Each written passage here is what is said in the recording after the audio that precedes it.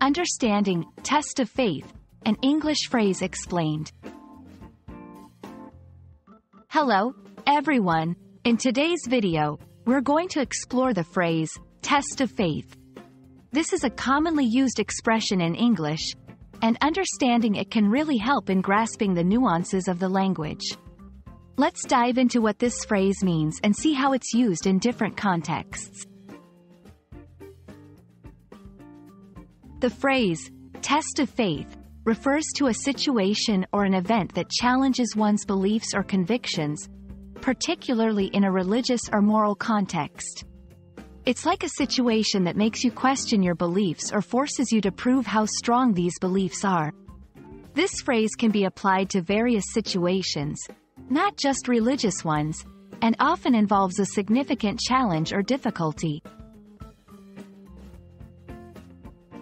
The origin of test of faith lies in religious texts and contexts, where faith is often tested by trials or hardships. Over time, the phrase has evolved to be used more broadly in everyday language. You might hear it in movies, books, or casual conversations, often referring to any challenging situation that questions someone's convictions or loyalty. To better understand, let's look at some examples. 1. Losing her job was a real test of faith, but she remained optimistic. 2. The difficult times in his life served as a test of faith, strengthening his beliefs. 3. For many, the natural disaster was a test of faith, challenging their understanding of the world. Understanding synonyms can also help grasp the meaning. Some synonyms for test of faith are trial of belief, moral challenge, crisis of faith,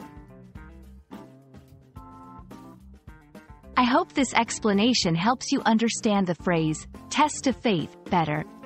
It's a powerful expression that's used to describe challenging situations that question or affirm one's beliefs. Thank you for watching, and I hope you find this useful in your journey of learning English. Keep practicing, and see you in the next video.